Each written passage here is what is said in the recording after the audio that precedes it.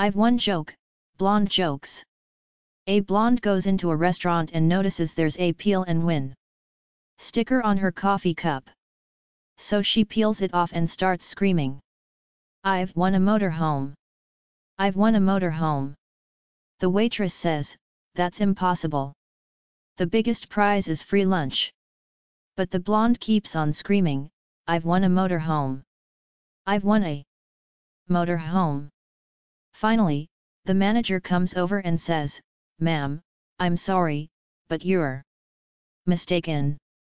You couldn't have possibly won a motorhome because we didn't have that as a prize. The blonde says, No, it's not a mistake I've won a motorhome. And she hands the ticket to the manager and he reads. W-I-N-A-B-A-G-E-L.